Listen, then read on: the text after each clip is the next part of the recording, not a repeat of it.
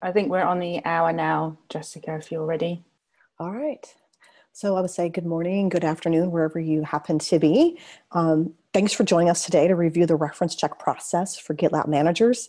Um, before we get started, I just wanted to take a moment and introduce myself. Um, my name is Jessica Mitchell, and this is my third week at GitLab. Um, prior to GitLab, I worked at Cisco for 15 years. And most recently, I worked at a company called SailPoint Technologies for two and a half years. I'm the HR business partner supporting engineering and product, and I report to Barbie Graber in People Ops. I live in Austin, Texas with my husband, Alan. I have a daughter, Lindsay, who's eight, and a son, Cameron, who is four. And as um, yesterday on the team call, I mentioned we were kind of starting our allergy seasons, which are really terrible here in Austin. So if you hear my voice crack or if you see me drink, I'm, I'm trying some new tea to see if that helps. Um, it's because of allergies. Um, so Abby Matthews, Abby Matthews and I will actually be co-presenting today's session um, on reference checking. Excuse me. So today we're going to review the process for reference checks, the business case and reasons for why we actually complete reference checks, what you can and cannot ask a reference. Abby and I will role play a reference call and then answer any questions you may have. All right, so you found the perfect candidate. Their job experience is a perfect match the culture fit is just right, and everyone who interviewed, interviewed them loves them. And so you think it's a done deal, right? Well, not so fast. It's now time for reference checks. Too often, hiring organizations treat the reference check stage as a necessary evil, as the last required stage before the excitement of finalizing an offer. Checking reference is actually a crucial step in the process designed to help you identify the candidate who'd be most successful in a specific role and within GitLab as a whole. the beginning of the process, you should have outlined the competencies required for success in the role. And during the interview stage, you gather data about each candidate's ability to be successful in that role. Their resume, CV, and cover letter gave you some more information. The interviews gave you a lot more information. And then your ongoing interactions and any assignments you have with the candidate complete, completed added to that picture. The reference checks process is your first opportunity as a hiring manager to gather data from an outside source. So take advantage of it. And before we move on how to perform a reference check, someone, someone's calling me. Um, let's look at the business impact of a bad hire. While the financial impact is quantifiable, chief financial officers actually rank a bad hire's morale and productivity impacts ahead of monetary losses. why does a bad hire cause such disruption?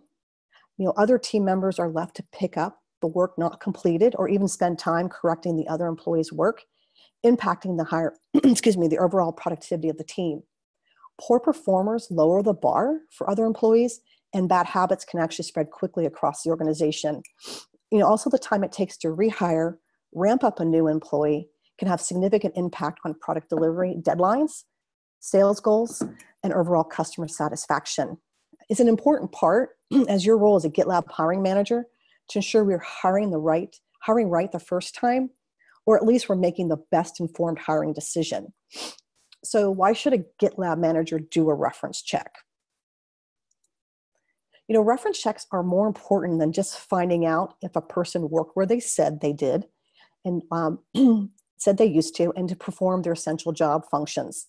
That is important, yes, but it's also crucial to note that reference checks are extremely valuable in learning more personal working style information about how a new employee can be successful at GitLab.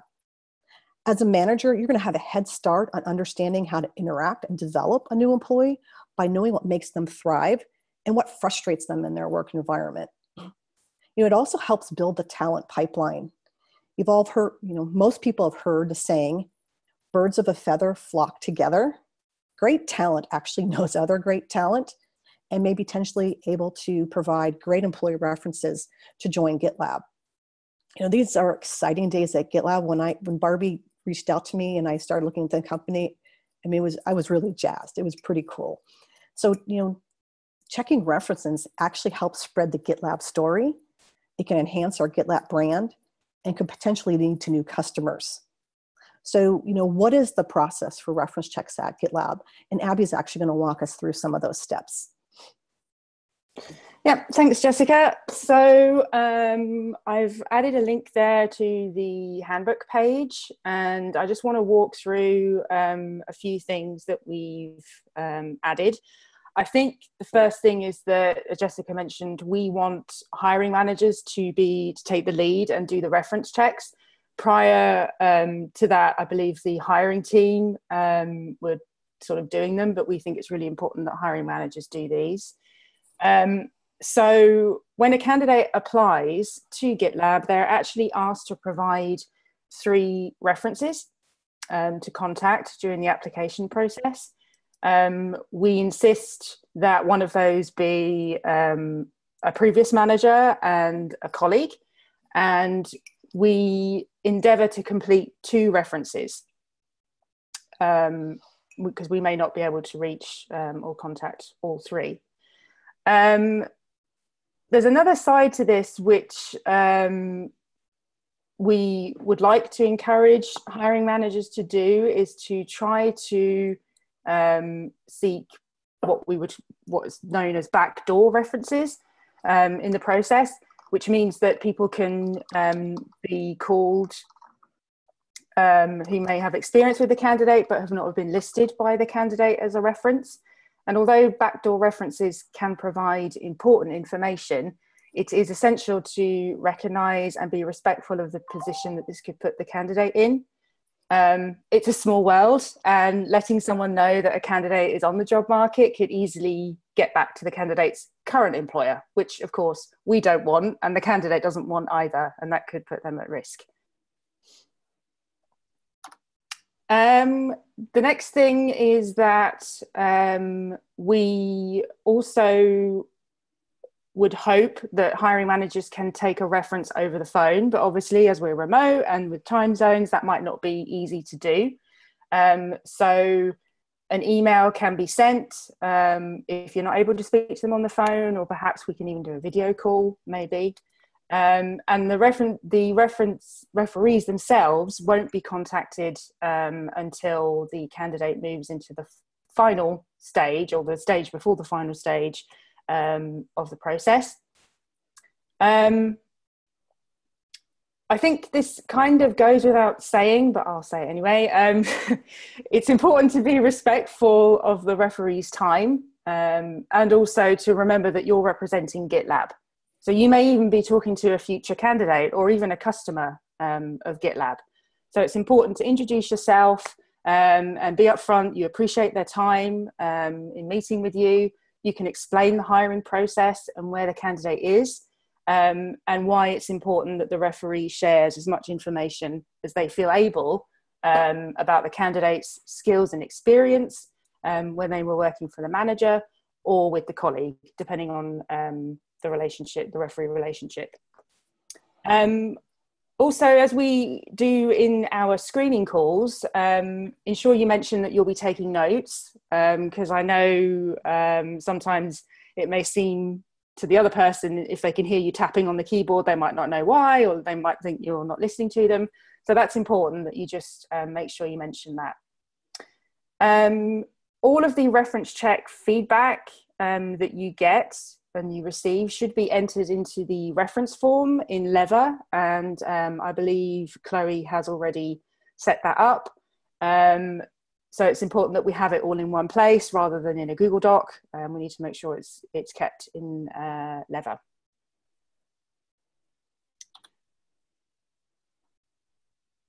Okay, excuse me, I apologize. Um, you know, following the GitLab process, these are the four following questions that should be asked during the reference checks. These are not the only four, but we want to be consistent across the board and make sure at least these four, these four are being asked. You shouldn't hesitate to ask any follow-up questions for more clarification. This is your time to dig in a bit deeper into the qualification, qualifications, the skills, and culture fit of a potential GitLab employee. You know, as a hiring manager, you should also be very careful, and we'll review it in the next slide, of what you should not ask a referee.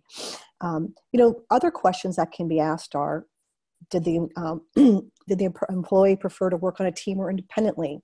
How did she, how he or she support coworkers? How do they handle conflict? What about pressure? What about stress?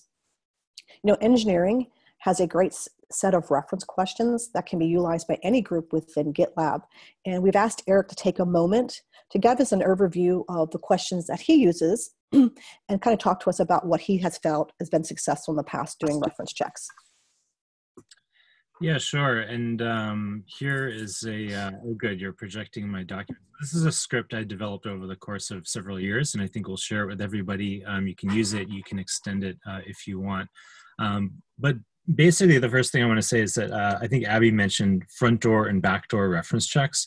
So um, this is for front door reference checks. Back door reference checks i typically make it just very conversational and very very fluid um, it typically is based on the strength of you know, your relationship or a other GitLab employee's relationship. Typically, tended to be very frank. The reason to structure a front door reference is because these are people that are supplied by the candidate, so we can assume that they're they're friendly to some extent with the candidate and are incentivized to get the person the job. They've been handpicked, which means there's a little bit more gamesmanship, for lack of a better term, with a front door reference. So, the first couple of questions here, you're sort of just um, you know verifying information you hopefully got through the interview process making sure that you know the role as you understood it that they played at these various companies is uh, reflected back to you by this other person. So things can be exaggerated things can be kind of misapprehended and this is the final chance to kind of make sure you know exactly what they were and weren't doing. Um, if we scroll down um, we start to get into um, you know uh, issues of you know performance and things like that. And and um, what I try to do is is actually ask what's essentially the same question multiple different ways.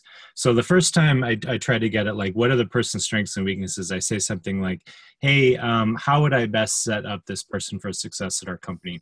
And then you typically get you know a set of answers that are uh, based around the person's strengths. And then I immediately ask basically the same question from a negative perspective of like, what are this person's failure modes? And if they haven't um, covered everything over in the first question, you typically get a little bit more frankness out of that second one. And then finally, just to close it out and make sure you've pulled everything you can out of this person, you say, like, hey, you know, I'm responsible for uh, this thing at my company. It's a very critical launch. Uh, there's time pressure around it.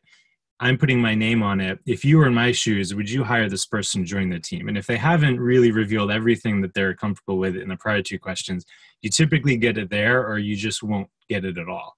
Um, so it's a matter. I would call it sort of triangulating in on this on this information, given the fact that this person was handpicked by their um, by the by the candidate themselves. Um, and another thing that's important to remember is that, like, because they were handpicked, you expect front door references to be positive. So a positive reference, as we would think of it, really just kind of confirms everything that you know. And what uh, so it's an issue of calibration. Where I would say a really positive reference is an over the top reference. So I'll give you an example of that. Um, I uh, at my last company hired an individual. I, I, said I made two great hires. One was what I would call like a uh, you know a um, uh, a gem out in the open as opposed to a hidden gem. You know, MIT startup pedigree, worked for a big tech company, like slam dunk hire, and he was great. This other individual came from the East Coast, a not very well known tech school, worked in fintech, and had been let go.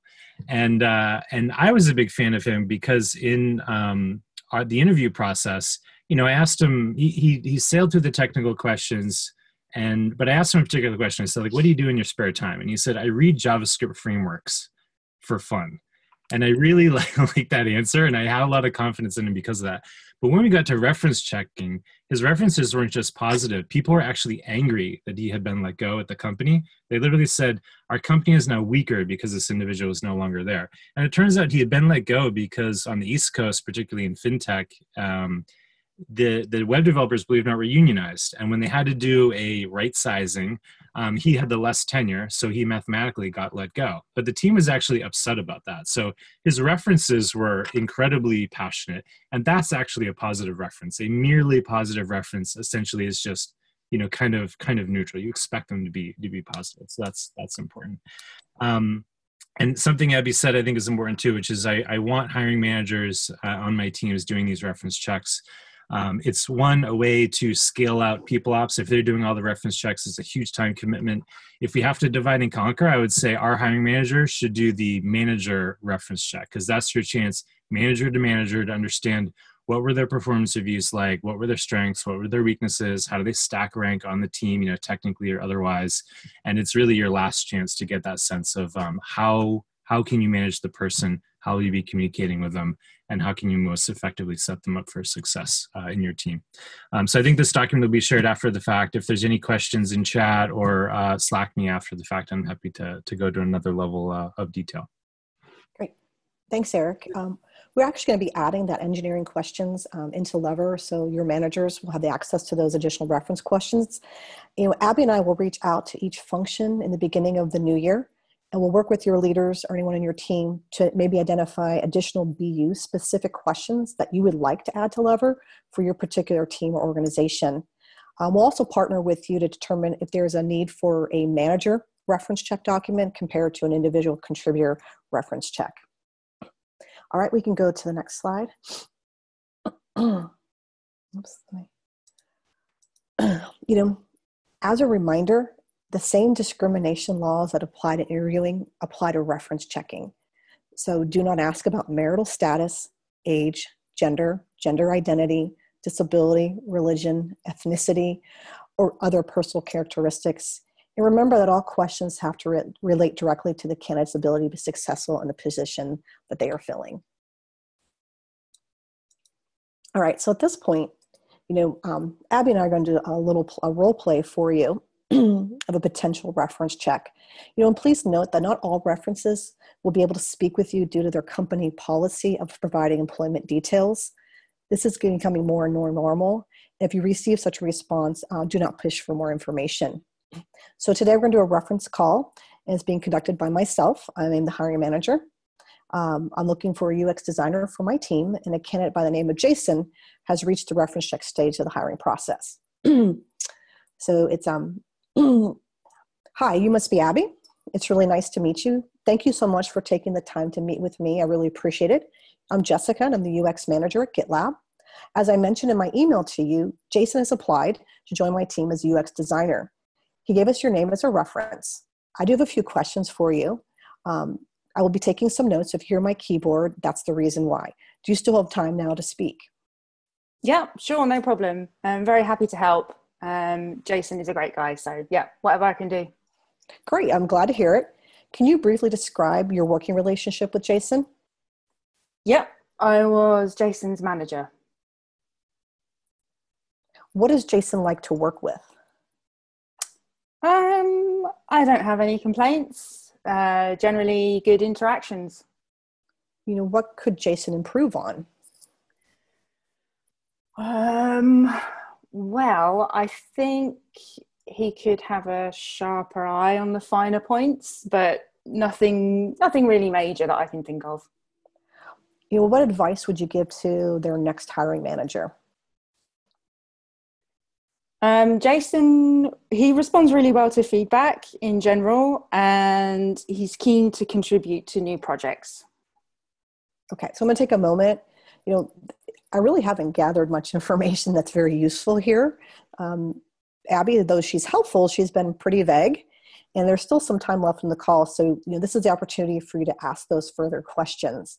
So, you know, well, you know, thanks, Abby, for um, that information, and thanks for answering those questions. You know, I have a few more as they will really help me get a better sense of Jason's knowledge, skills, abilities, and work style. Yep, sure, fire away you know, what are Jason's strengths and weaknesses as an employee? Um, strengths wise, he's able to work in a team exceptionally well. Um, very keen to support his teammates, um, which is great. And I would say that he's able to communicate effectively and share his ideas.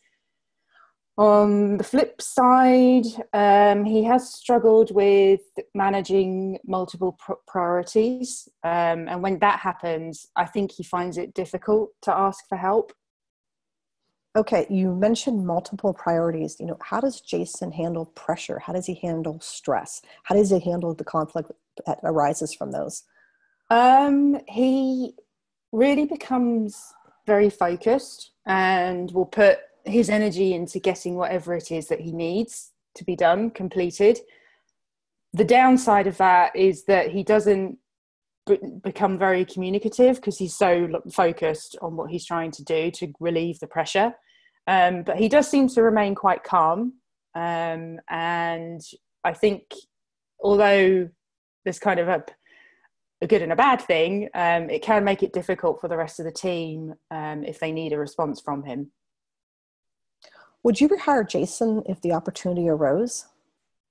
Yeah, definitely. And um, I'm sorry to. I'm actually sorry to see him go. Is there anything I haven't asked you that you would like to share with me as Jason's potential new manager? Um, I don't think so. Um, what I would say is that I know Jason is keen to progress in his career. So I think it's really important that you have a visible um, career path for him um, to follow so he can continue to learn and grow. Um, in actual fact, I can probably give you the name of someone else that you could speak to um, who could give you a little bit more information now that I think about it. Um, I'll, yeah, I'll send you their, their details. Great. Thank you. I appreciate any more information I can gather. You know, and thank you very much for taking the time to speak with me, and I really appreciate it. Yep, you're welcome. And I hope uh, Jason is successful. Thanks.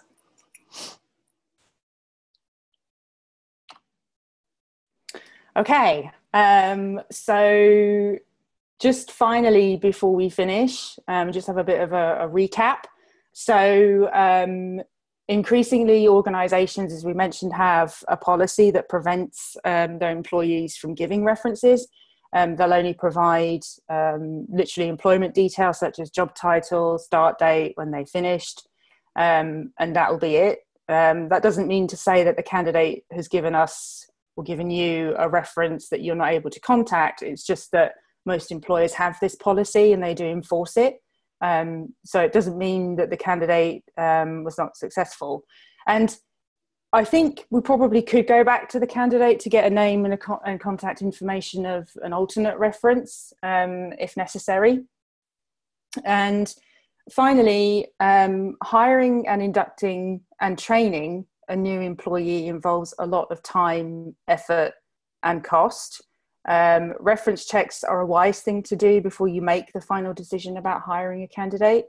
It's good to know um, your potential um, member of your team, how they like to work, what their strengths and weaknesses are. Because the more informed you are as their manager, the more you'll be able to understand um, how to really get the best out of the new team member and ensure that they have um, that they perform well and that they're a good fit with GitLab, um, and everyone um, will be satisfied uh, with the performance.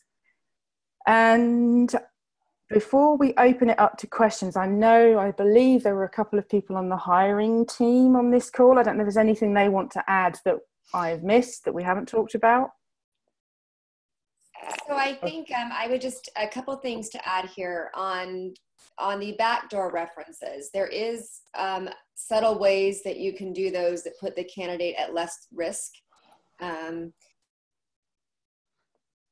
it, one of those ways is to not imply that they've actually applied to a role and not to imply that you've actually interviewed them, but to you know be a little more careful in your words in that I have seen this candidate's resume. I'm extremely interested in them.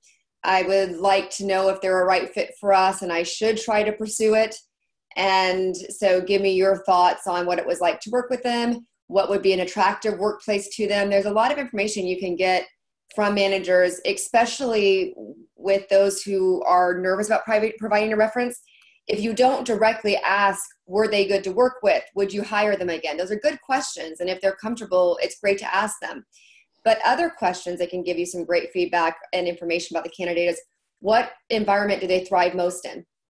And generally speaking, that answer won't be a negative, right? It'll be, oh, they're great in this environment, they're great in that environment, but you can glean information from that. So if the kind of environment they're in is a fast paced, unstructured environment where they can collaborate in conference rooms with their colleagues and they love to go out for together after drinks and work, and that's really what drives them then maybe that implies that there could be better for a different kind of environment than a remote work environment where we're together on Zoom and I think getting along wonderful together, but we're not having as many beers together after work. Um, similarly, when I was at Netflix, I, I asked the question of what environment do they thrive in, and I got the answer that they do like a lot of structure, that they um, thrive in process oriented environments. They prefer very clear guidance and recommendations. Uh, I would know that in the Netflix environment where it's pretty ambiguous, no one really knows what anyone else is doing, and uh, it's it's very very freeform. Maybe that wouldn't be the best place for them. So some answers you can get that are very positive, and the person giving the reference thinks they're being positive, but when you apply it to GitLab and what we're doing here, maybe they wouldn't be such a great fit. So I think some of those ways of asking questions can can can be beneficial. Um, I think that Kathy is right. There is a very small circle in security. And I think that's where you get more nuanced of, you know, who are the best candidates in security? Who should we be looking at? Here's someone I've heard of. Are they good? Would you recommend them? Uh, and it's less of a, I'm checking a direct reference. Does that make sense? Bobby, I'd like to add that we've had, sorry about the dark background, I'm sitting outside just to get fresh air. It's really hot and great in South Africa right now. Um, basically, what I've noticed is from the first reach out, yes, there's been a bit of a delay in people coming back to us to arrange the calls or respond to an email if they were uncontactable, but they are responding. So the positive news is we are getting great references and some with quite critical feedback. So I was very surprised this week. There's been a few um, interesting responses, but we are most certainly getting the references done. And um, I am surprised that, that they're coming through in the volumes that they are. So even though it's not allowed in certain countries, um, if the candidate gave the hiring manager the heads up that we're calling, and yes, this is not a backdoor, so we're probably not going to get the information um, Eric mentioned earlier, but they are coming back to us. So I, I do think there's some sort of positive commitment because we emailing and calling from GitLab, which is good. Yeah, and I can't minimize the added benefit of getting your network broader and stronger and um, getting the GitLab message out there more. I did a reference today on one of my candidates, and the reference was the president of McAfee. And the president of McAfee really enjoyed hearing about GitLab. He was a great reference, but the call went a little long as I explained the way we work and how um, Julie would have to actually use the platform. And he thought, oh my gosh, that's wonderful. You know, a product that everyone at the company actually has to use means a better product. And you know, it's it's it's a great. There's great added benefits to this too, and that's one of the reasons it's great when the manager can actually check these references because as the manager, you're expanding your network, and you're being able to also send a great impression of GitLab that might get people interested either to work here in the future or to use our product in the future. So I have a question and I'm like I'm still trying to understand where the actual value in this whole thing is.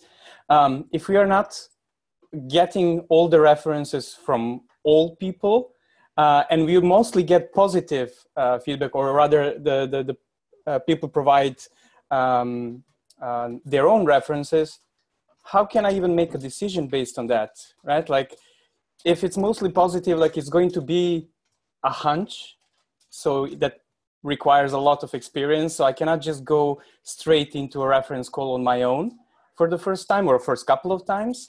And how do we make sure that uh, the people who we cannot get references from um, what do we do with them? So I, I would worry about someone for whom no one was willing to be a reference for. Um, most people, if they've enjoyed working with you, and I called them up and said, "Hey, I'm going to use you as reference," they would they would respond. And so part of it is, do people get back to you? Uh, so you know, I would say, and Sid can speak up here, Netflix has a policy on not giving references. They have very few policies, but they tell their employees to not give references. Sid had no problem, I don't think, calling up or, random people or something. Netflix yeah, no, that, that, I didn't that even, was easy. Yeah, I didn't even give them the heads up that they would be called because I had I, no idea who Sid would be calling. I, I think we're a bit going like, we're not being clear. Like, why, when is a reference a bad reference? And when do we not hire someone? Can, can we please give examples of that? Because we're, we're kind of, it's, it's, we're not, we're not being clear about what's a good, what, what's a bad reference. I think when it's a really obvious bad reference, it's obvious, right? So when you ask the question, would you want to work with this person again? They just say no, pretty clear. Um, however, you're not usually going to get it that clear. You get people who are more vague, hedge more, or just don't want to check a reference, want to give you no answers, want to just say yes or no. Um, and then that's a sign that something could be going on there, and you want to dig a little further on this one, or at least question your assumptions that they're the right hire. Um, a reference isn't going to be your your primary deciding factor. It's more data for you to consider in making your final decision. And if you're getting references that do not want to disclose information, do not want to discuss the person, seem really standoffish, then that's some that's something to give you pause. Really look through the qualifications of that candidate, look through the interview feedback, consider any red flags, and think maybe these that I dismissed or rationalized, I should give most you know closer consideration to. Uh, and so it's it is it is judgment. It's not going to be always simple black and white, but they should just give you pause um, to more. Yeah, let me give you let me give some examples. Um, so I reference checked someone, and they talked about leading a team uh, and uh, how many people reported to you. They said 15, and I find out that really, yes, they did the project, but the people had an operating like we're reporting to someone else. So someone else was doing doing the people management, the hiring and the firing. That should have been disclosed. I think in the example interview that was given in this call, I thought it was uh, the example of a bad reference call because there was there were three or four points where I would have started digging, and um, wasn't I, I don't have the example the the exact point but for example yeah they were good in this. And then um, it was sometimes uh, when when they focus on something or oh oh can you name an example of that? Just just do what you do during interviews. Um, obviously like it's different. It's a reference call but just try try to dig in a bit. Of course be respectful of the other person's time and and have, as barbie said it's good to to not to to to not make them feel like they're they're they're they're causing problems but hey okay can you um oh oh why do you say that? Or or oh when how might i prevent that? Like yeah, that is seen as constructive but also will mostly force the person to to come up with an example of when it happened so you want to start digging into anything interesting you hear and you want to of course cross check it, but I, want to give examples. So uh, it might be like, hey, uh, yeah, you, they, they, they need a clear focus. Okay, how could I provide a clear focus? Well, I'm, I'm not sure. Well, how did you, what did you do before they, before that didn't work and what did you do afterwards that did work? Well, before we gave this person their assignments per week. Afterwards, I had a daily call with this person. Well, if this is a person that is like intermediate level, buff, red flag, if if if if maybe go back to your other interviews and other references and find like disproving evidence. But if that stands, that's probably a no hire, or that's a hire as a junior. Um, I'm, I'm making, I'm trying to be uh, give examples. Of course, there's a lot of nuance in these things, but th that might be an example. Does that make sense, Madden? Or no, that's not a good question. Anna, what do you think about that example? Yeah, I think I think that actually clears it out uh, or clears it out for me. Thanks. Marin, I'd say there's another value of, um, of reference checks from the positive sense. Like the ideal position for a hiring manager to be in is that you have multiple candidates who have met your absolute bar and are suitable for the position, and you're having trouble deciding which one to actually make the offer to because you only have one vacancy, let's say, to fill and you have two of them and one has positive references which i would interpret as neutral and one has over the top references which i would interpret as positive then it's a very easy way to say like well this breaks the tie. We do we do that one. I would also say it's important when checking references to be aware of cultural differences. So I do think that um, when you're checking a reference, I think to your point, Eric, some will be over the top, like, wow, they can't stop singing her praises and others will maybe more subtle and neutral there are cultural differences there too of of the way people express their joy right so i don't want to generalize any cultures but if you were talking to someone in brazil they might be a little bit more effusive with their feedback And if you were talking to someone in Germany, they might be a little more measured. And so you do have to take that into consideration too when you're evaluating the references.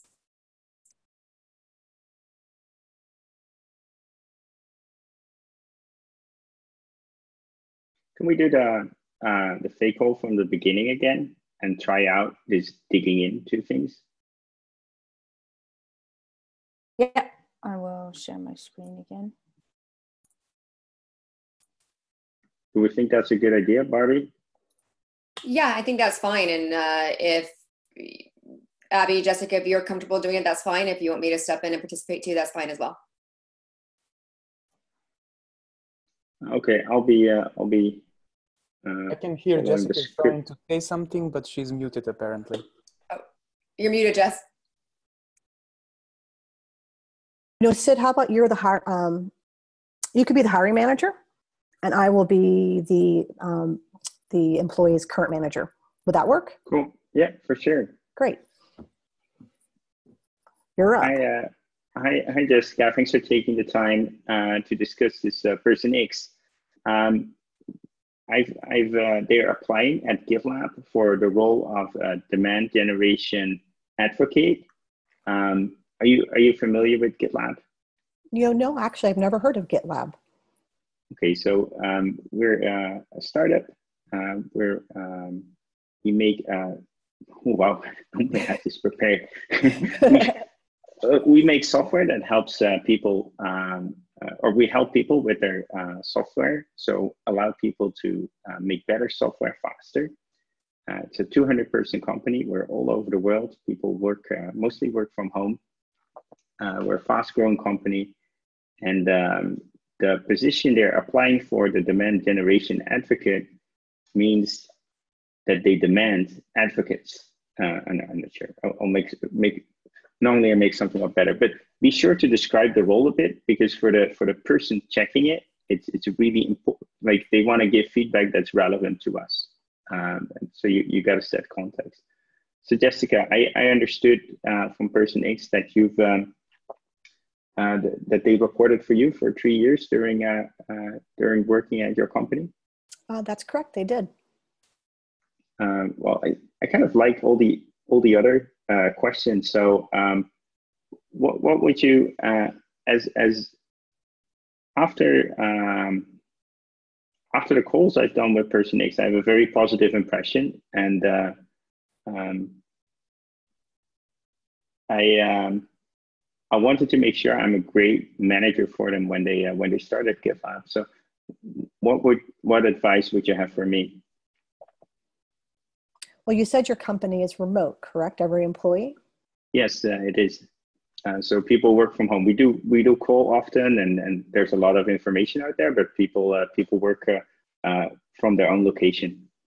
Well, I think that's you know a really interesting concept, but that may be an issue for this employee you're making this too easy, Jessica. Um, but yeah, so but if, if Jessica would have said like, oh, that's great. Well, it's it's a really uh, they're really go-getters. Uh, they they always get there, and uh, and they uh, one thing to watch out for is is they can give lots of they can give feedback and, and reinforcement.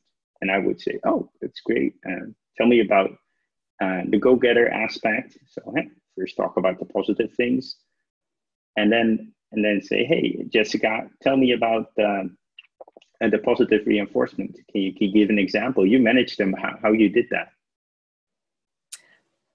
As positive reinforcement, this person really values real time feedback.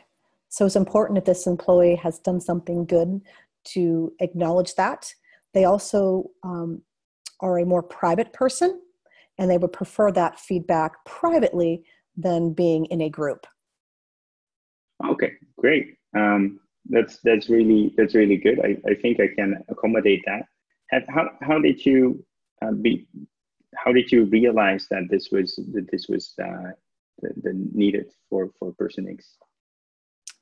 Um, in our many one-on-ones, we have a career development um, conversations. We talk about um, what they're doing well in their role, how um, happy they are, and what they need from me as a manager and we talked about this person's need for recognition. And when having those conversations, I just dug in a little deeper and asked them, well, you know, how do you like recognition? You know, we have some people on the on the team who really like to be out in front. Is that something you would like, or what is your preferred preference? And so through just normal conversations, we I discovered that this person likes it but wants it private. Okay, great. And how, how often do you give positive reinforcement? Well, it you know depends on their performance. You know, if um, they've done a great job, you know, I'm not a demand gen expert, so I'm going to make this up too. Um, you know, if they've completed the their goal setting for the month or they exceeded that, I will then go ahead and give that um, in real time. Um, with this employee, I would probably say I I do recognition the normal amount, nothing more than you know that. Okay, and you said that person X uh, prefers it in in private. What what happens? Have you ever like mistakenly praised them in public? Um, no, I have not. So fortunately, I was able to ward that off. Um, so I've not had that issue. Okay. I also did it though, happen before they reported to you, or or how, how did you, know, you find out? I don't know. Um, he never mentioned an issue of this happening before, uh, but it was just something that we've talked about in our. What do you think person X is uncomfortable with with being praised in, in public? I think he's a um, an in, uh, in, um, what is the right way to put this? I would say he's even though he's in demand gen, I would say that he's a forced extrovert, but he's truly an introvert. Um, and so I think his introvert tendencies lead him to have things more private. So I just a little pause here. I think this is a good example of checking in when someone makes a generalized comment about someone but can't back it up with a detail or an experience that would actually um, give evidence to the perhaps assumption they're making. Mm-hmm. And so I think this is a really good example of that. So well done. Yeah, thanks, thanks, Jessica. I, I would not hold this like against the person. Like this is this is nothing. Like what I'm looking for is once I said well done on a podium and they barged off really angry and they wouldn't talk with me for two months. Like, oh well, that's a red flag. Like what's what's hmm. happening there? You're you're you're trying to find stuff, stuff like that. Or they need reinforcement every single day. Well, there are many positions at GitLab where we're not gonna we're not gonna be able to offer you that. Um, so you're looking for for hard data for frequency and stuff, and, and you gotta this is already beginning. Like when Jessica started uh, psychological profiles, that would be my last question because you want to back off then. That, that's not what we do. We don't we do don't do a Myers Briggs uh, when when people join or stuff like that. That that is getting too personal. It's not function related anymore. Um, but but yeah, I like I like to kind of dig and then. Uh, it's especially nice if you got multiple references in the company because you can then dig and sometimes you find something not great but if, if the story is consistent to with all the different people you know it's fine um, it's great or it's it's like you've you've added value if you get different stories from different people. Then there's there's something amiss and uh, that can go up to um, yeah people that agree to a certain storyline and then one person not being informed about it and then uh, you find out that there was something that really didn't go well um, all kinds of stuff uh, well that's a bit spectacular. Most of the time it's just hey i should pay more attention to xyz and sometimes i go back to the to the notes. Like if it's about positive reinforcement can we go to the interview notes find any situations about that? Or maybe maybe um, um, I've I've had done reference calls where I'm like, we should have another call. Like if I would have known this during the last interview, I, I would have asked about this, and so just do another interview. And the worst thing is, you talk about a hard subject to talk about before they join, and it's it's clearly on the radar of you in the report. Uh, so the personality thing is very interesting, Sid. I I would say in security that I've encountered a lot of people who can be really negative, right? And what I mean by that is that they say, oh, this is awful, this is horrible, but not necessarily offer like a constructive feedback kind of thing. So that's something that I really try to dig for. Um, because when you have a team of people working together and there's one of those or maybe two of those types of people, that can really cause kind of a toxic environment for the rest of the people. So it can be kind of demoralizing um, to have that. So that's why yeah, I feel like sometimes I do dig a bit on personality. Yeah, I, I would say I'm not going to name any names, but there's there's people at GitLab and, and maybe including me that are a bit like negative by nature. So I don't think negativity per se is is, is something bad. I think it's like not being result oriented. So saying like bah it's it's all messed up and then as you said not doing anything about it like you want people that make a difference. And and i enjoy some of our engineers who who, who with a lot of humor like say the say the worst things about what they're they're digging into something. And like this is broken and that is broken and this is horrible. And then the, the after a few hours they ship an, an amazing migration to fix that stuff. So that's great. Like i think i think it's allowed for me it's allowed to be negative but it's like you have a, an attitude to fix it and make it mm-hmm. make it better i think that's what you're i thought i think that's what you're saying too but i, I want to i try to we want a diverse company, including diverse personalities. For some people are very enthusiastic and some people are very negative. That's fine as long as, as there's collaboration and as long as there's an uh, result orientedness uh, in it. Probably yeah. over trying to say the same. I totally back that up, Sid. I would phrase it as like skepticism, as long as it's healthy, is is really valuable. Like in engineering, security, um, and legal in particular skepticism is like necessary to do the job but I, I, like using results orientation as the way to differentiate between what's constructive and, and what's not because we need both types here we need our we need our salespeople to be incredibly optimistic and we need our engineers to be you know ske- healthy skeptically and we need both of those personality types to be successful as a company yeah, an unproven uh, psychological generalization. You have matchers and mismatches. Like if you're a sale, you're likely to be a matcher. You see opportunity, like you you connect things that other people can't connect. If you're an engineer, you're more likely to be a mismatcher. You focus on the one thing that is wrong. So it's always fun, like engineers and sales talking. Engineers like, there's one thing wrong, we can't do this. Sales like, we have nine things in common with the customer. This is awesome. Like, it's it's it's it's kind of I, I found that a helpful framework. By the way, if you haven't noticed, I'm a mismatcher. I look at the one thing that's wrong. Um, so that's that's one of the most CEOs, well, product CEOs tend to be mismatchers. General CEOs tend to be uh, uh, matchers. Like they, they, they see, they, they make connections. Andrew is having fun in chat. Skeptical engineers, never. know, I think this dialogue has been great. Are there other questions that folks may have? I mean, I think we've talked about quite a few things here. And thanks, Sid. I hopefully didn't make it too easy or too hard for you in my. No, it was great. Thanks, Jessica.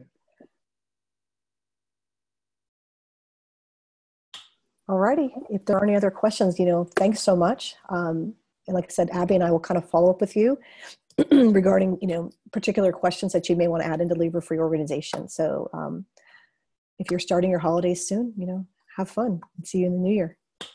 Thank you. Thanks. Take care. Thanks, everyone.